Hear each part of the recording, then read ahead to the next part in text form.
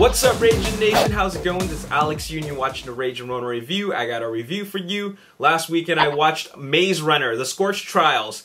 And Maze Runner, The Scorched Trials is, of course, the sequel to last year's The Maze Runner.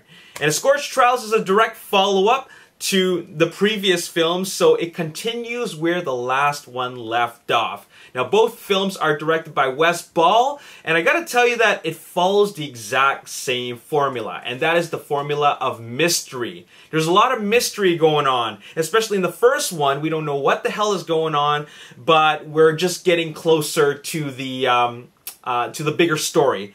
The same thing applies to the second film. We get a couple of answers to our questions from the previous film, but then it opens up more questions. It's kind of like uh, a continuing episode of Lost, but on a larger scale. Now, I really, really enjoyed The Maze Runner, the first film, but this one, I gotta say, it kind of falls a little bit short. Now, I'm very much invested into all the characters, and I, and I really enjoyed the direction that Wes Ball gives us, but I find that the payoff in this film isn't quite as satisfying. And the main reason is because, well, the movie is called The Maze Runner, and they took away the mazes. You know what I'm saying? There's no more mazes in this film. Um, now, of course, they're calling it the Scorch Trials, and they're going through the Scorch. So I get that. But one thing that made the Maze Runner great is because of the mazes. I mean, we love mazes. As a kid, I love mazes. I think a lot of kids love mazes, but you took one of the best elements about the like this this uh, this story out of it, and now all they're really doing is running through the desert, trying to avoid the cranks. And uh, you know, I, I don't want to spoil what the cranks are, but I feel like they've changed genres now. It's no longer a maze genre; it's a genre about um, kind of like Resident Evil. But anyways, um, yeah, uh, so it just feels very, very different. I find the payoff is not as satisfying. It feels kind of anticlimactic, and I find that it opens big only to have the movie kind of plateau and then it just kind of has a bit of a climax at the end and then of course at the by the time we get to the third act and um, the the conclusion of the film we are left feeling like oh man, I want to see the rest of it. Where's the rest of this story? It just kind of ends it. And it doesn't end it in a way,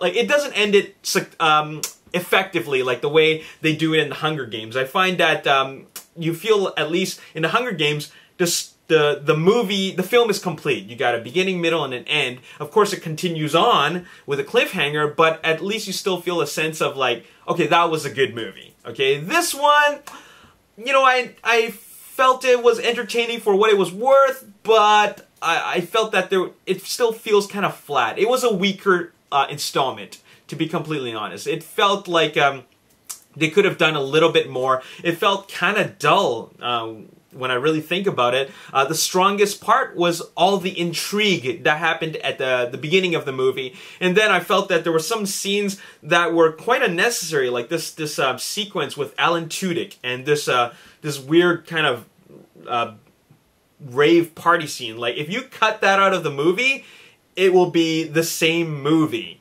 Now, some of you might be thinking, but you know, that's what happens in the book, or you know, you should read the book. It's uh, it's a lot better. Well, you know what? I don't care about the book. I'm here to review a movie. Um, I, I, don't want to have any bias expectations about this film. I, I want to watch this movie as a movie. So it, it feels like the structure of this film is is not um, put together in a way that really tells a story effectively. And at the end of all this, I felt slightly unsatisfied. I mean, sure, there are some great moments in this movie. Like I said, the, be the beginning opening sequence was cool. A lot of the set pieces are really quite exciting.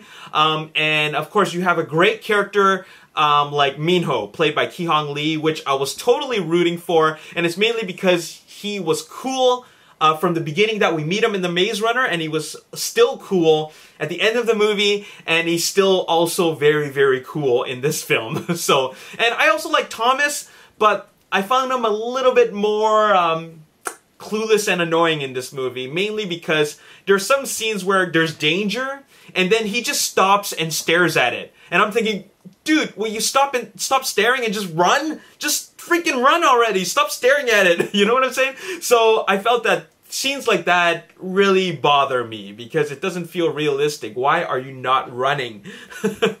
um, but um, but yeah, for the most part, it was uh, somewhat entertaining. Uh, I hope that the third installment is stronger because it, after all, is the closing, uh, um, the closing installment to this trilogy.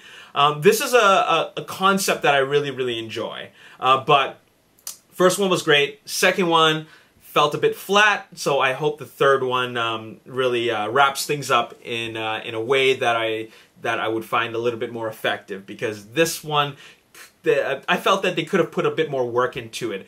And in some ways, it almost feels rushed, mainly because the the, the time in between these sequels is one year apart from each other. They're taking two years to release the third installment, which means that they are putting more time into the script and the shooting and, and you know putting more attention to detail. I hope, but this one just feels like they they could have done a better job with it.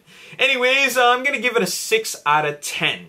Okay, 6 out of 10. The previous one I gave a 7.5 out of 10. Very good movie. But this one uh, falls a bit short.